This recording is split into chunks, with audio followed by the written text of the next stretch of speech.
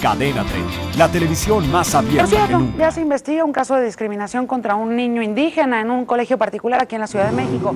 El menor mazateco cursa primaria, eh, primaria tercer grado, y desde hace dos años sufre discriminación y hostigamiento por parte no solo de sus compañeros, sino también de sus maestros.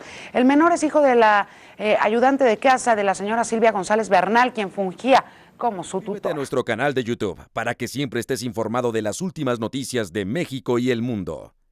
Empieza ahora mismo dándole clic a estos videos.